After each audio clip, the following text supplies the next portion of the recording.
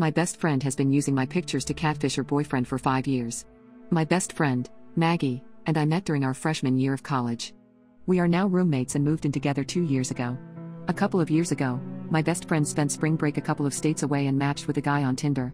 When she came back to campus, she immediately told me about him and how amazing he was. I got super excited and asked to see a pic. That was the only picture of him she's ever shown me. Over the past five years, he's literally been her whole world. She talks about him constantly. She always has her nose in her phone. She gets clingy when he takes too long to text back. And she's cried to me a few times because she's lurked on his social media and seen he was around other girls. I had asked a few times why they have never met up again, and she said they're both too busy and don't have the money for the trip. I even told her that he could stay with us and that would save some money. He sends presents and even flowers on Valentine's Day every year. They've basically been dating this whole time. So, yesterday, my roommate picked up a shift at work and was gone. I get a knock on our door and I open it to a guy.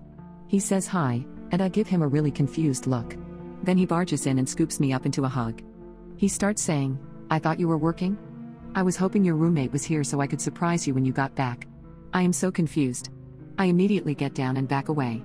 And I let him know I have absolutely no clue what he's talking about. My brain can't even process what's happening. Then he looks confused and says, Maggie? And I responded, No. That's my roommate? My roommate and I look nothing alike, so I'm even more confused. Then something kind of clicks, and I think, oh my god, is this the guy she's been dating?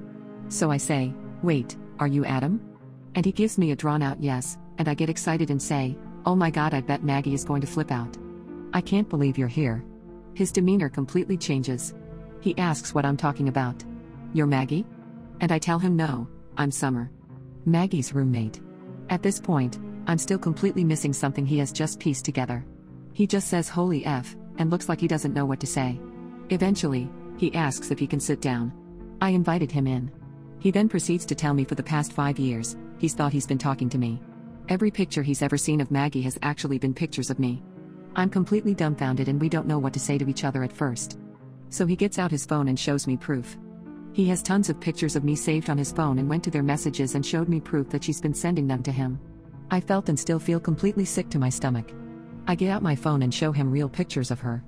I tell him maybe they could just talk when she gets off of work. And he's really pissed at this point. I say, maybe we should call her first and let her know you're here. So I do that and she starts flipping out.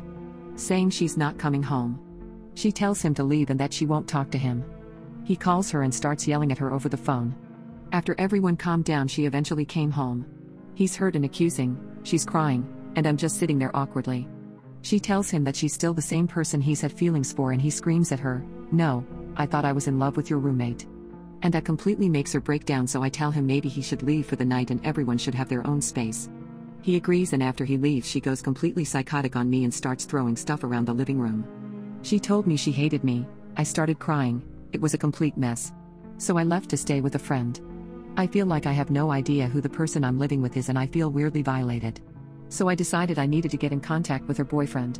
I ended up having a phone call with Adam, mostly because I wanted to know about the pictures she sent. Turns out she sent pics of me in my underwear and nudes that aren't actually of me or her. So we're assuming she got those from Google. He feels really bad and is actually having a hard time with all of this. I assured him I don't blame him at all for the underwear pics, or anything like that.